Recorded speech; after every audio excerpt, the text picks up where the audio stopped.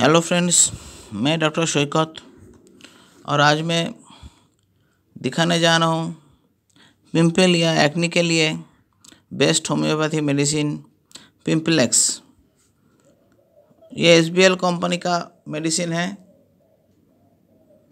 ये एक world class product है। दुनिया की हर एक बड़े बड़े देश में एसबीएल कंपनी का दवाई मिलता है। अब देखते हैं इसका इंग्रेडिएंट क्या है।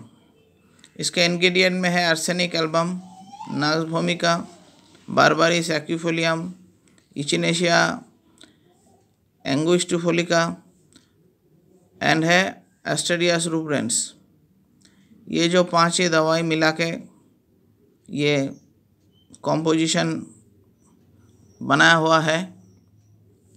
और उसका एक टैबलेट का वज़न है टू फिफ्टी मिलीग्राम और उसका स्ट्रेंथ या दवाई का पावर जो अगर देखें यह arsenic iodide six X power का है नासफोमी का थ्री एक्स पावर में है बारबाड़ी से एक्विफोलियम ये वन एक्स पावर में है। और ये बारबाड़ी से एक्विफोलियम क्रीम या मादर टिंचर में भी मिलता है, वो लगाने के लिए ज़्यादातर क्रीम और मादर टिंचर दोनों खाने में और एक्सटर्नल लगाने, दोनों में भी बार बार सेक्यूफोलियम यूज़ होते हैं। यहाँ पर टैबलेट फॉर्म में बना दिया हुआ है।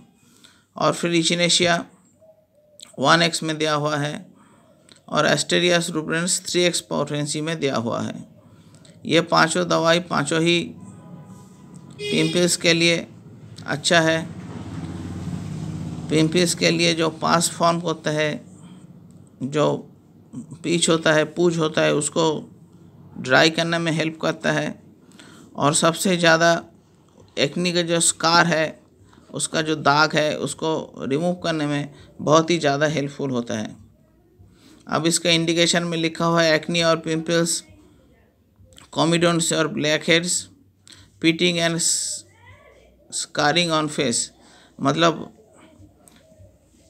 जो पिंपल्स तो ठीक होने का बाद उसका तो जो पीटिंग यानी दबा हुआ रहता है,